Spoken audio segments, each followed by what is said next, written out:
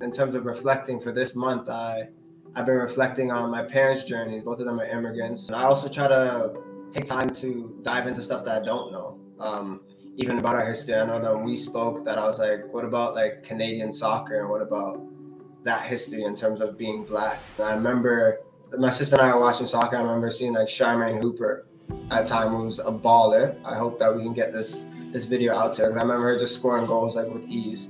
Um, but not having so many black female players playing for Canada.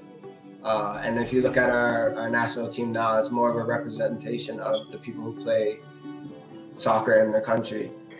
Well, honestly, what's happening right now is is immense uh, for the country. I think um, it's just great to to show the representation of Canada. You know, we are built off immigration, right? So we are we are we are changing things. We're, we're doing things um, in, a, in a different in a different manner. You know, one player that, that always uh, stands out to me uh, in their journey is uh, is Julian de Guzman um, and his brother uh.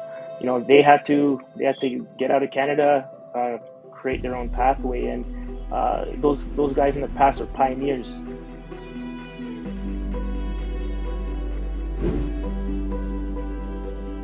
So I think um, it's it's a great time, and I think uh, especially with seeing the amount of um, different cultures on the on the national team and black players specifically, um, I think this is the most we've ever had by far. Um, and to see the talent that we have, and to see what we're doing, to see we're about to go to the World Cup, um, I mean that's pretty impressive.